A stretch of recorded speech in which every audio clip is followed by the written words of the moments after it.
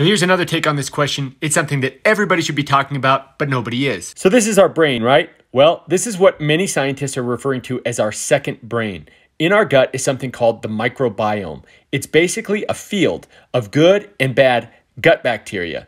And there is a strong link between brain number one and brain number two. 2,000 plus years ago, Hippocrates said all disease begins in the gut. And man, was that ever prophetic. Modern scientists are finding that poor gut health leads to depression, anxiety, and a bunch of other mental health conditions, including food addiction.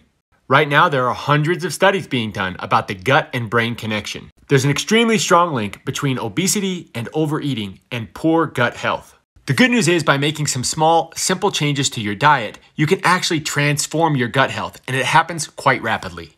In our gut, there's a never ending battle between the good bacteria and the bad bacteria. When the good bacteria are winning the battle, your mental health, your immune health, and your overall health are much better. The bad bacteria thrive on sugar, grease, and a bunch of other things that are way too common in our diet. The good bacteria in our gut are referred to as probiotics. These are living organisms, and many people take probiotics to try and strengthen their gut health. Probiotics eat prebiotics. So I want to talk about what a prebiotic is and why it's perhaps more important than supplementing with probiotics or eating foods that have a lot of natural probiotics.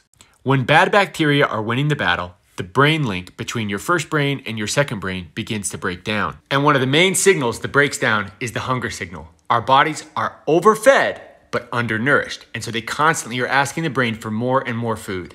So, what kind of food do they want? Again, prebiotics. And prebiotics are found in natural fiber. The process of processing food is the process of removing fiber from the food.